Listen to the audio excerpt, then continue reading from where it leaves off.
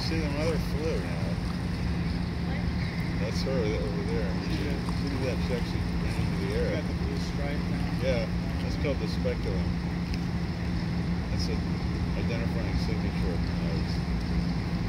So these, what we see are happy ducks.